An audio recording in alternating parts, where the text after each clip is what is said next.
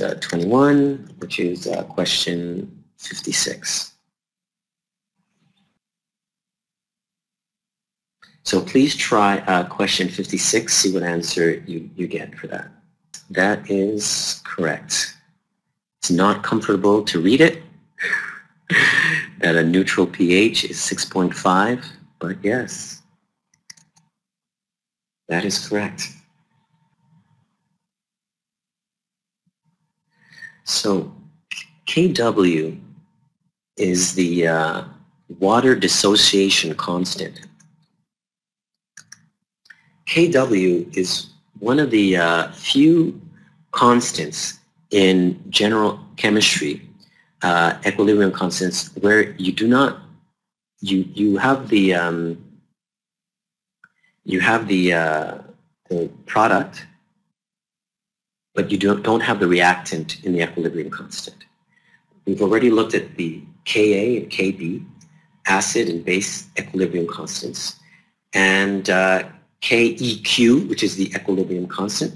These constants, they're the product of the products over the product of the reactants. Okay? However, KW and uh, there is another equilibrium constant which uh, does not use uh, the reactants. Does anybody remember it?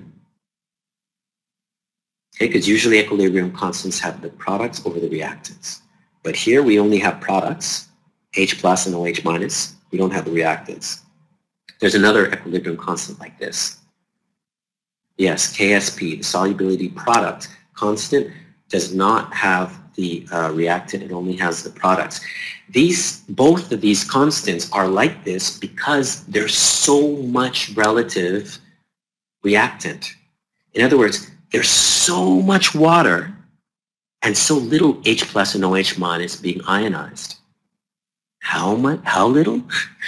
Well, at room temperature, it's 10 to the minus 14, which means you get about 10 to the minus 7 H hydrogen ion, 10 to the minus 7 OH minus. 10 to the minus 7 is 0.0000001. You know, that's a very small number. So when you have water, there's very little H plus being produced, very little OH minus, very, very little. But that 10 to the minus 7 H plus, okay, because if it's 10 to the minus 14 at room temperature, 25 degrees Celsius, 10 to the minus 14, that's 10 to the minus 7 times 10 to the minus 7, that gives you 10 to the minus 14. 10 to the minus 7 H plus, negative log 10 to the minus 7 gives us 7. That's why the pH of a water solution at room temperature is pH of 7. Less is acidic, more is basic. But we are not at room temperature. At 60 degrees, it's 10 to the minus 13. So now we have a different reaction. We have Kw is equal to hydrogen ion times OH minus is equal to 10 to the minus 13 now. So we don't have 10 to the minus 7 as a solution. We would end up getting 10 to the minus 6.5 as a solution for both. And 6.5 plus 6.5 gives us 13. So the hydrogen ion concentration of a solution at uh, 10 at uh, 60 degrees Celsius gives us 10 to the power of minus 6.5. Then we have P, pH is equal to negative, um, negative log of hydrogen ion concentration. Hydrogen, hydro, hydrogen ion concentration in this case is 10 to the power of minus 6.5. So now, if you remember your rules of logarithm, you're permitted to bring the 6.5 to the front, and we have two negative signs. So we have 6.5 times log of 10. Log 10, base 10 is equal to 1. So we have just 6.5. So the pH of a solution of 10 to the power negative 6.5 hydrogen ion concentration gives us a pH of 6.5. Now, yes, the pH is 6.5, and had it been room temperature, that would have been acidic, but it cannot be acidic. It's impossible because this is the Kw. It's the water dissociation constant, and the concentration of hydrogen and OH is equal. They're equal concentrations. And because they're equal concentrations, therefore the solution must be neutral. Well, we made it.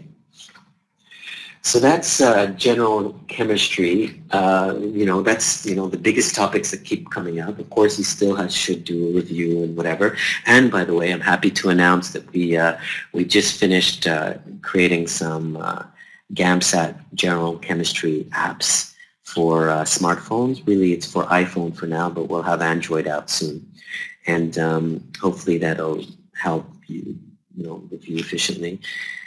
And uh, yeah, you have to do a review, but the great news is that you guys are early. This is a few months ahead of time, and uh, and that's great because usually, you know, three to six months, three to six hours a day is a good, uh, helps to get a really great uh, GAMSAT score. So you guys are, are nice in a good time zone, you know, uh, for preparing for the uh, March exam. So hopefully you can keep up your energy, uh, keep steady, and uh, yes, um, organic chemistry, I'm not sure if it's the next one or if it's the one after that, but we'll definitely be doing organic chemistry and uh, we'll be doing um, the review. So um, good luck with your studies and, uh, and um, have a good uh, summer or winter depending on, on where, you, where you are and, uh, and we'll see each other next time.